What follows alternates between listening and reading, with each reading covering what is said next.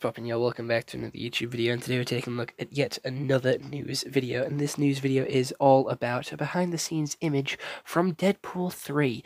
And I know we've taken a look at a lot of these, but for whatever reason, this is the movie which has been leaked the most. There has been so many leaks for this movie, and it is obviously with the director, Ryan Reynolds, and Hugh Jackman, all sat in the woods. So I don't know what this woods has to do with anything, because I haven't seen the woods in any other teaser image, but it's not the desert that they're all stuck in. Maybe it's where Logan died. Maybe we're going to be going back to where Logan died and seeing how that actually worked or how that ties into everything because apparently that ending is still canon. That ending is still special.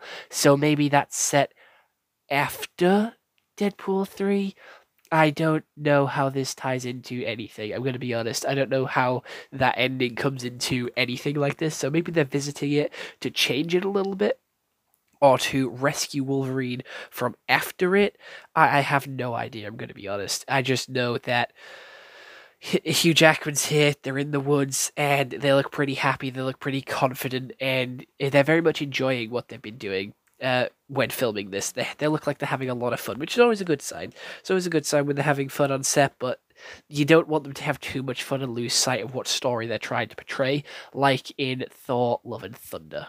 Uh, as Chris Hemsworth did admit to, taking too much liberties, taking too much fun, and not enough care into what the story is about.